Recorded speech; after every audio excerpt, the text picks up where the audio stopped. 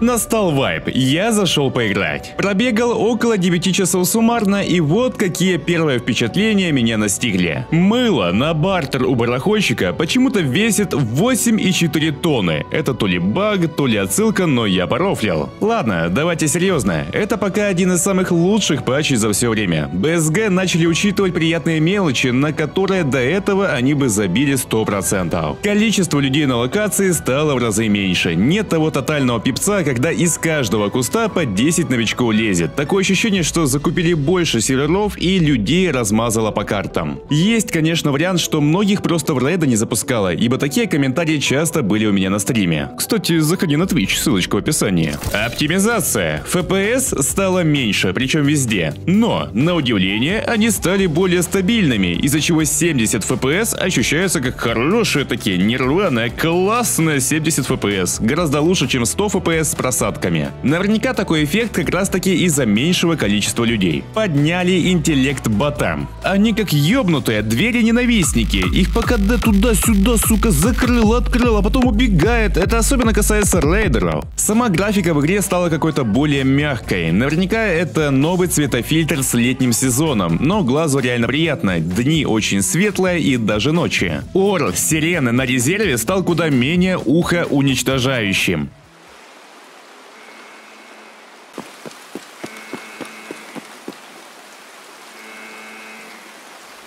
Мини-Узи довелось потрогать буквально сразу, потому что благо нам сделали его доступным к покупке сходу. Сказать про него мало что могу. Мелкая хрень 9 на 19 с низкой скорострельностью и неплохой отдачей. В целом шлак, но точно лучше, чем тот же Витязь. Одна из лучших начальных пушек. Ключи для квестовых дверей спаунят неплохо, всякие солевы, искры и так далее. Это все появляется часто, хотя раньше, когда большой ажиотаж на предмет, его день со днем не сыщешь. В общем, много вещей делается для того, чтобы новичку было не настолько сложно играть. И лимиты у торговцев индивидуальные. И подсвечиваются предметы, нужные для убежища и по квесту. Реально, намного дыхабельнее стало, так что в плане порога вхождения BSG работают неплохо. Бросилось в глаза, что много дверей, которые изначально были открыты, закрыли, как допустим на медичке в Тамоге. На втором этаже дверь налево всегда была открыта. Теперь не получится быстро с лестницы проскочить в стекляшку.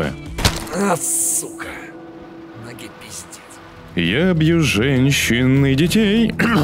Цель обнаружена. В руках АК-103. На голове мешок из-под мусора. Победа будет простой. Мальчик мой, ты что, не заметил самое важное? О нет, он оформил подписку на Boosty, нужно бежать! Нет, нет, нет, нет, нет, никуда ты не убежишь. Спасите! Я посмотрел все 16 видео с полным погружением, а также меня лично обучил Дистракт. И это не говоря уже о куче контента на более младших подписках. Сдохни.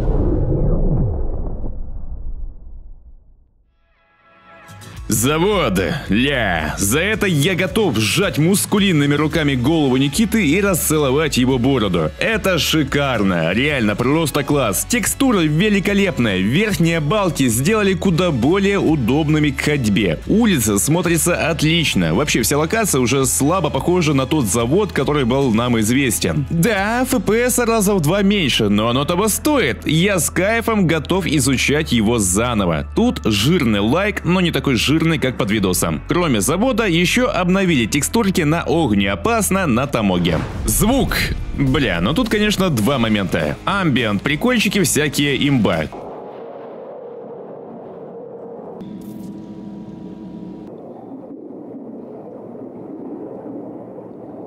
Крысы, бегающие по трубам, все дела, но непонятно какого хрена ты слышишь во время своих телодвижений звук того, как кто-то встал из положения лежа. И это постоянно.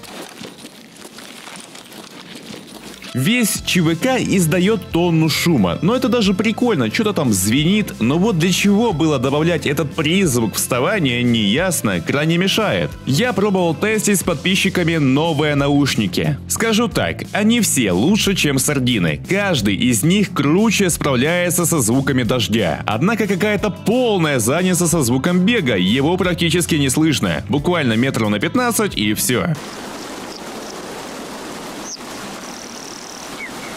Я хрен знает, что это за дичь, но шаги просто не слышны. Может это баг, может опять что-то накрутили, но я был опечален. Когда раньше мы слышали метров на 50, сейчас я в упор не могу различить прыжки. Дополнительные приколы. Звук выстрела без наушников очень громкий. Хочется выкинуть уши и купить новые.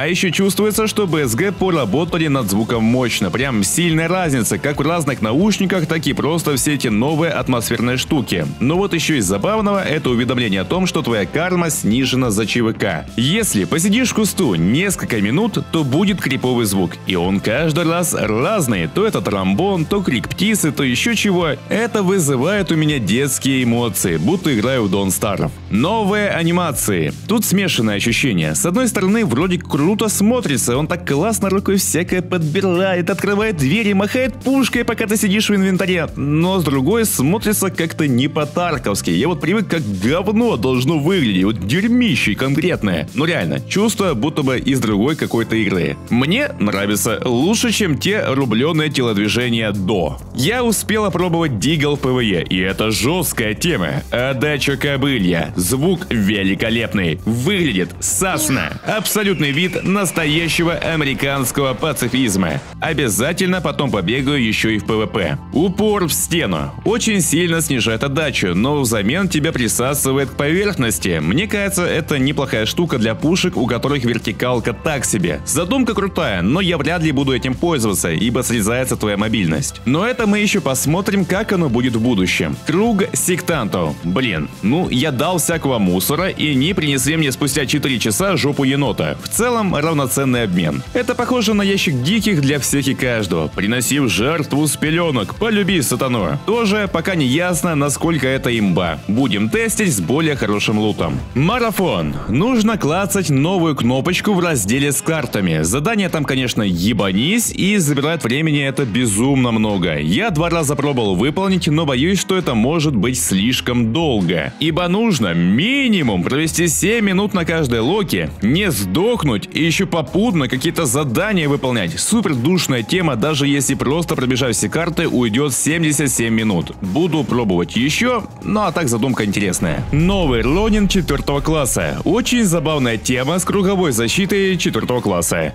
Мне даже довелось с ним побегать. Выглядит эпично, поддеть наушники нельзя, в начале вайпа имба, ибо не всякий дурак обзавелся патронами лучше гороха. Мне нравится, но скорее всего стоить тоже будет прилично. Одна штука меня все-таки дико бесит. Переделали приседания. Если ты будешь бежать, а потом нажмешь присесть, у тебя не получится это сделать. Пока ты полностью не остановишься, ты не сможешь сделать присед. Это дико мешает, бесит, кумарит. То есть раньше ты мог чутка вот на опережение это делать, а сейчас тебе не дают. Это прям одна из худших вещей, которую добавили. А знаете, какая лучшая вещь? Это плавная смена кратности. Боже мой, это офигенно. Теперь оптика с высокой кратностью заиграла новыми красками. Все эти телескопы для рассматривания щетины реально стали юзабельными. Спасибо, Таркин, скорее всего это делал ты. При этом можно и резко переключать кратность и плавно. Шик! Добавили сошки. Я их опробовать не успел, но блин, это сошки, их наконец-то добавили. Выглядят они неплохо, но вот их эффективность еще стоит проверить. В общем и целом, впечатление от вайпа замечательное. Да, есть свои недостатки, но это подшлифуется. А так мне все нравится. Не думал, что скажу такое про BSG, но красавчики. Да, это я везунчик и у меня все работает гладко, но надеюсь у всех пофисит проблемы со входом в рейды. На этом видео заканчивается. Спасибо, что досмотрел до конца. Увидимся в следующий раз. Удачи!